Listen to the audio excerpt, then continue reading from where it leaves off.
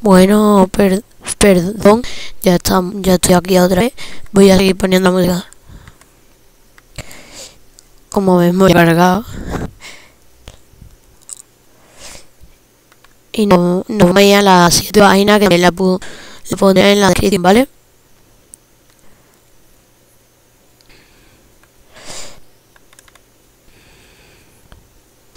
Vale, ahora que estamos en esta página, lo que hay que buscar es NetCD, libcd, para instalarla sobre el sistema operativo que tenemos. Si no, lo que va a pasar es que de Andalucía nos puede quitar el portátil. Entonces eso no, no queremos que pase.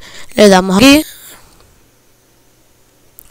Esperamos y ya nos pone la ventana con esto. Tenemos que dar el archivo, pero yo como lo tengo le voy a dar a aceptar y voy a, darle a cancelar porque yo lo tengo como ven aquí. ¿Vale? Ahora después no, nos vamos a ir si, si tenéis el 10.4 no, no hagáis esto otra vez. ¿Vale? Ahora nos vamos a ir al al administración aplicaciones, sistema, administración, slash USB creator. Ahí es donde nos va a permitir crear un USB que, que empiece el- a grabar esto.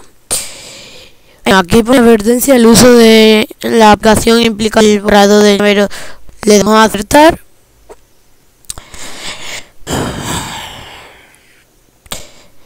Como os dije antes, yo esto, mucho estos pasos porque ya lo he grabado eso. ¿vale? Deja- damos el primero, le damos a aceptar. Y ahora vamos a ver a- aquí pone seleccionar la imagen. Pues no podemos seleccionar la imagen hasta que no nos pinchemos sobre la imagen que tenemos descargado o hemos descargado, nos saldrá también este, que es como si montara un pendrive automáticamente o se le pusiera otro disco duro. Pues no seleccionamos eso, pero si queremos ver los archivos, sí. momento, ¿vale?